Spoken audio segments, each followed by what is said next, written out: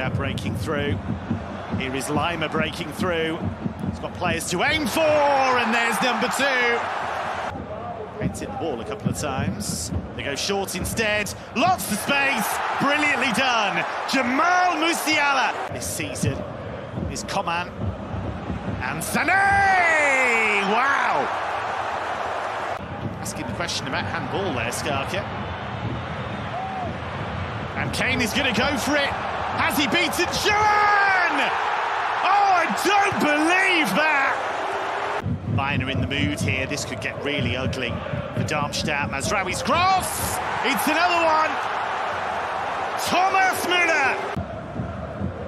Darmstadt can barely keep the ball at the moment. That's understandable. And it's opened up here again, and there's another one! Still going.